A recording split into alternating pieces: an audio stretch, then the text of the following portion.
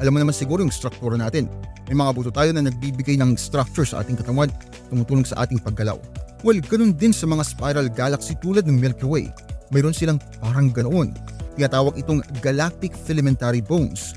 Parang buto sa gitna ng mga baraso ng galaxy, katulad ng buto sa ating mga limbs. Karamihan ng mga bituin sa mga spiral galaxy ay matatagpuan sa mga mahabang braso na umiikot naman sa gitna ng galaxy. Yung mga galactic bones ang nagpapastable sa form ng mga braso na yun. Importante talaga sila sa mga astronomers, lalo na sa pag-aaral ng magnetic fields. Medyo mahirap pag-aralan ng magnetic fields sa kalawakan, pero malaking parte sila sa galaw ng mga bituin at kung bakit ganoon ang ginagawa nila.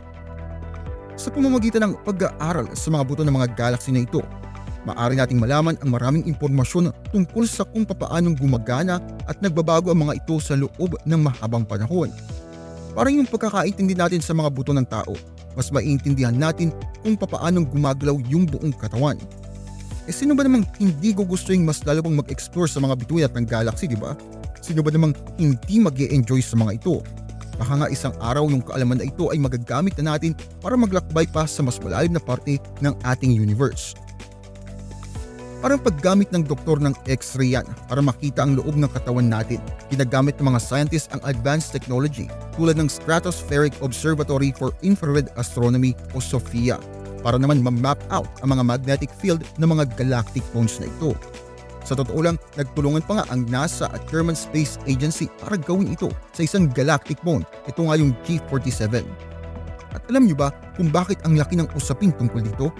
Kasi ang pagmamapa ng magnetic field ay nagganap sa unang pagkakataon.